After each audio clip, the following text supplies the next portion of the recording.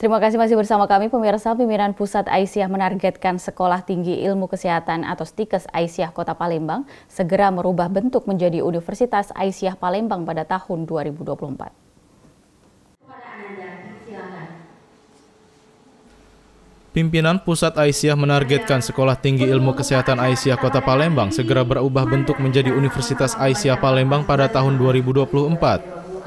Hal tersebut disampaikan Ketua Pimpinan Pusat Aisyah Siti Nurjanah Johantini saat memberikan sambutan dalam acara seminar pendidikan pemilih cerdas berkeadaban di Universitas Muhammadiyah Palembang.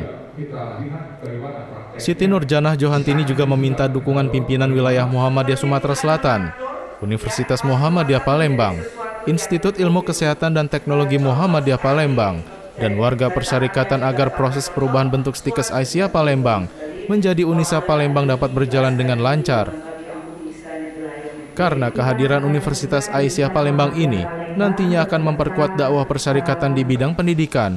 Mengingat dakwah pendidikan harus terus ditingkatkan apalagi kebutuhan masyarakat akan hal ini sangat tinggi.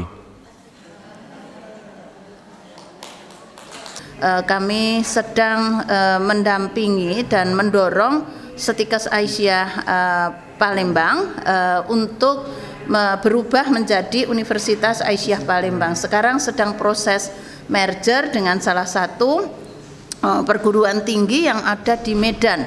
Tidak jauh lah dari uh, mana uh, Palembang ini sedang terus diikhtiarkan. Kami sedang mendampingi task force dan kami agendakan sampai akhir Desember ini uh, sudah upload segala persiapannya kita ikhtiarkan tentu juga perlu support uh, dari pimpinan wilayah Muhammadiyah dan juga dari amal usaha Muhammadiyah terutama dari Rektor Universitas Muhammadiyah uh, Palembang. Mohon doanya kalau kemudian menjadi universitas menjadi salah satu yang terus mendukung kekuatan pergerakan Muhammadiyah di Sumatera uh, Selatan. Sehingga diharapkan tahun 2024 mendatang izin perubahan bentuk stikes Aisyah Palembang menjadi Unisa Palembang segera didapatkan dan kampus Aisyah ini dapat segera beroperasi. Rianza Putra memberitakan dari Palembang, Sumatera Selatan.